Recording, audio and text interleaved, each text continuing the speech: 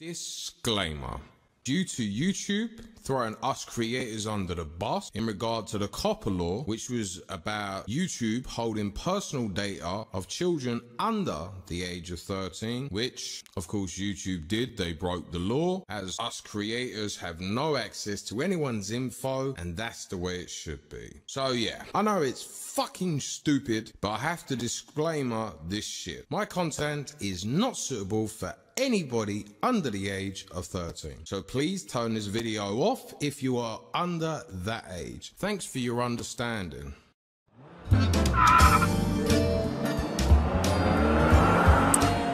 Hello and welcome.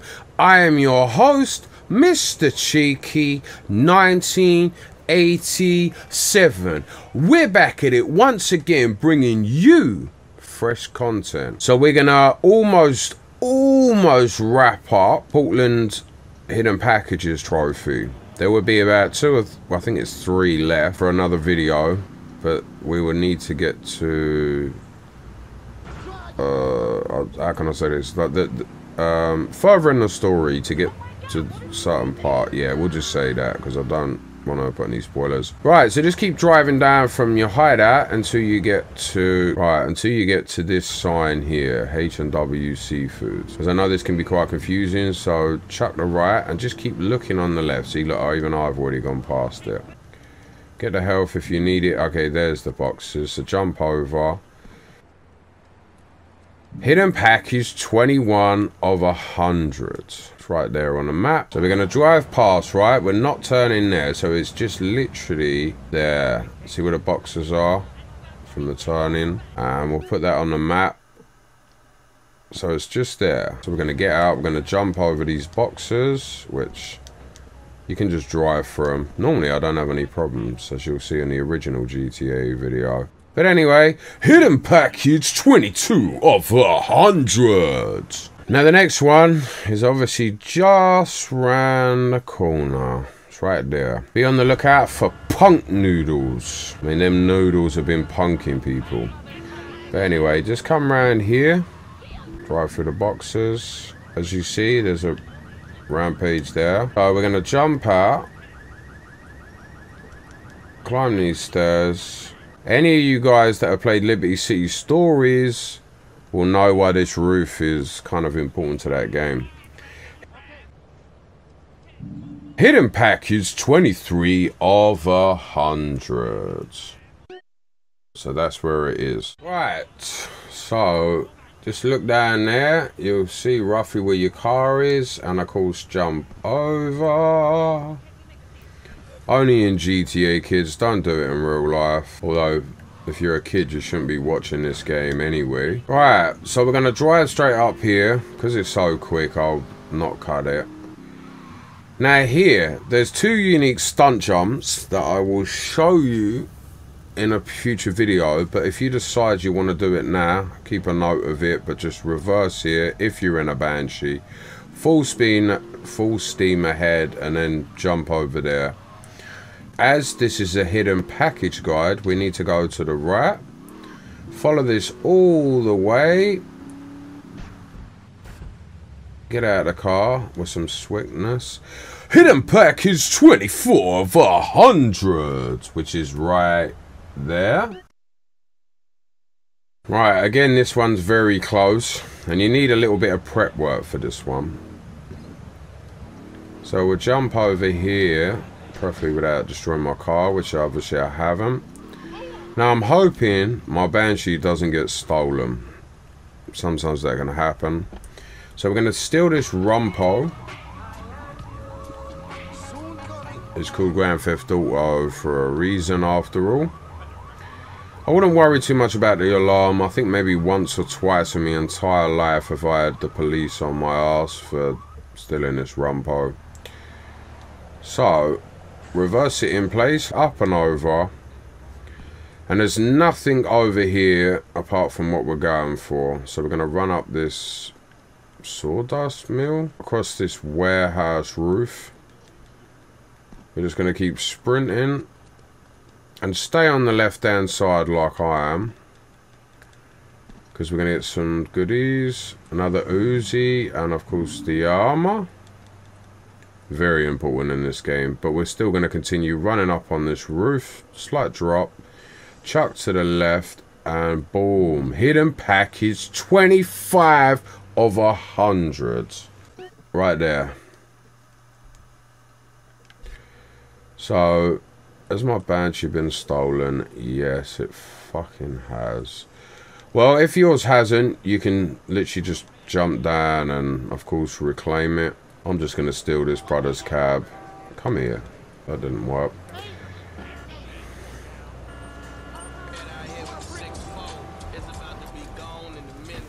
About to be gone in a minute. Right, this one can be a bit confusing. So, where that rumpo was, was just around that corner. So if we drive across here, gonna go past Joey's. To save you running all the way around, we can literally run around this way and hidden package 26 of a 100. Claude just chill out, bruv. And there we are. Now, another thing to bear in mind, and I'm sure you might not need it so much now, because you've just got armor. But just on the other side there you can see there's some more armor. I guess someone stole my car again. Right, so that's where we just got the hidden package. So we're going to go straight down here and to the bitching dog food factory. Now this gate should open automatically like it does. Now, there's some good missions in this area. There really is. So we're going to get out here. And we're going to go and get... Hidden Package 27 of 100. Which is literally there. But this is where we are. Pretty much in the same area. There's Joey's over there. We're sort of on the back and far side. So we are going to go this way. And what the is going on here. See, look, that's where we just was, kinda. So we're going to go over here and through here. There's a rampage there. A police star, which I'm going to take. But more importantly, if we get out here...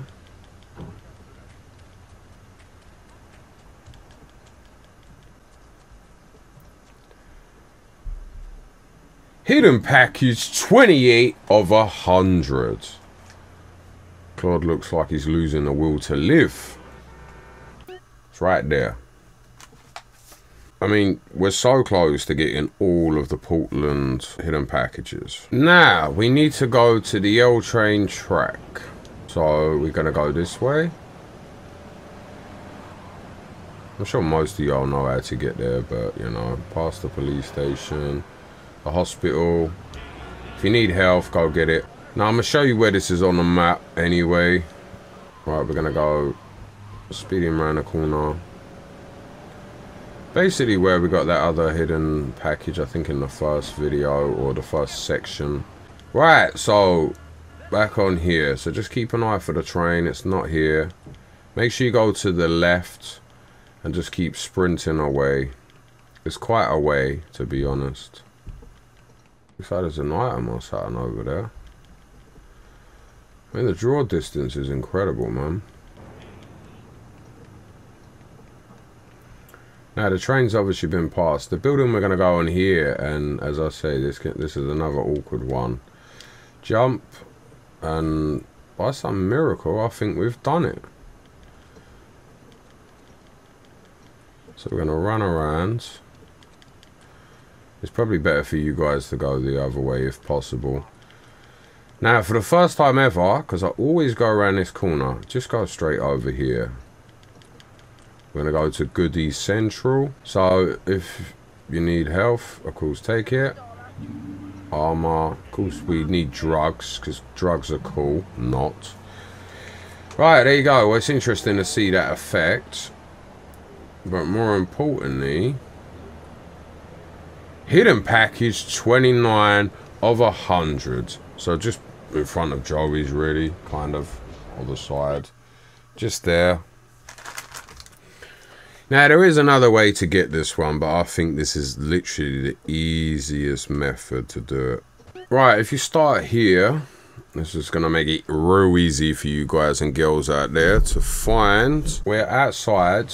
See, the first sign, I can't get the gun out, but it's up there. This is the second one. A bit further down past the entrance. So we're going to drive over here. I know it's difficult to see because it's dark. Look out for this tower. Hopefully don't run people over. Now, coming to here. Now, that is a, one of the unique uh, unique stunt jumps right there. So, if you got a Banshee, you can attempt it. So, just right, right. Drive as fast as you can up here. And then spin around like a G. Look at that. Hidden package 30 of 100. And look, grenades have been delivered. And it wouldn't be a Mr. Cheeky 1987 video without showing you our jackpot. There we go. On the amazing platform, a collection of guns and ammo, or guns and other weapons. So, of course, save as usual. I hope that helps someone. And in a later part, we'll be finishing the last two or three hidden packages for Portland. So, like, comment, and subscribe. And I'll see you on the flip side. Peace.